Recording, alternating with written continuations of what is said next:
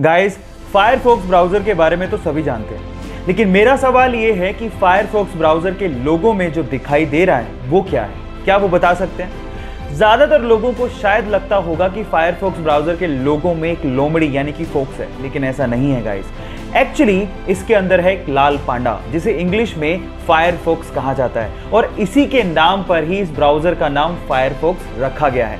क्या इसके पहले तक आपको इफ़ेक्ट फैक्ट पता था? और अगर नहीं पता था तो चैट सेक्शन में लिखना मत भूलिएगा।